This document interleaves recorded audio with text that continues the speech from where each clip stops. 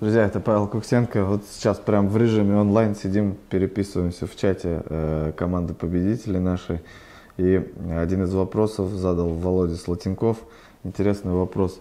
Э, звучало как-то, что при аукционе, если поступило, ну, имеется в виду открытый аукцион, э, поступило две заявки, но никто не сделал ни одного шага в цене, э, то кому предложат выкупить лот по начальной цене и предложат ли вообще.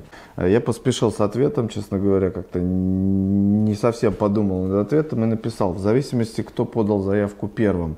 По принципу публичного предложения, когда мы даем одинаковую цену со вторым нашим оппонентом по торгам, то в данном случае принимается решение по тому, кто первым подал заявку, тот и объявляется победителем, в случае, если вот такая ситуация возникла.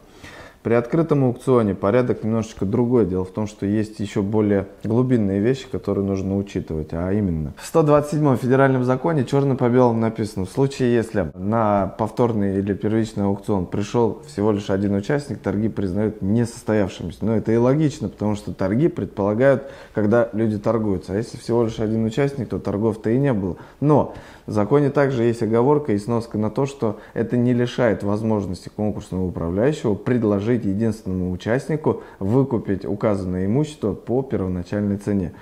Если прям совсем по-русски, а, есть у нас аукцион, стартовая цена миллион рублей, и приходят участники, там 4-5 человек, например, или хотя бы 2 минимум, что нужно, да, чтобы торги состоялись, и начинают торговаться, каждому присваивается порядковый номер, например, мне присвоили номер один, моему оппоненту номер два. Мне предлагается сделать первым ценовое предложение в виде плюс 5%. Я делаю шаг, миллион пятьдесят мой оппонент в течение получаса после меня имеет право сделать еще одну ставку, миллион сто, ну и так далее, пока кто-то из нас не остановится.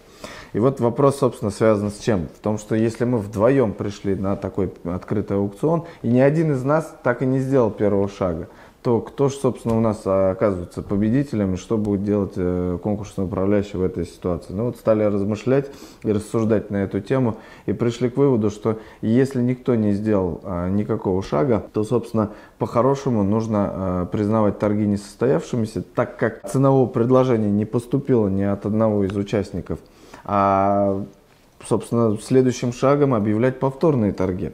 И вот у нас на эту тему возник здесь диспут. Уважаемые коллеги, если вы считаете иначе, и у вас есть свое мнение на сей счет, вы можете совершенно спокойно написать комментарий и дать нам обратную связь. И уже в комментариях мы с вами пообщаемся на эту тему, кто же прав в этом рассуждении. С вами был НААП, это Павел Куксенко, друзья. Подписываемся на канал, комментим очень жестко и увидимся в следующих видео. Пока.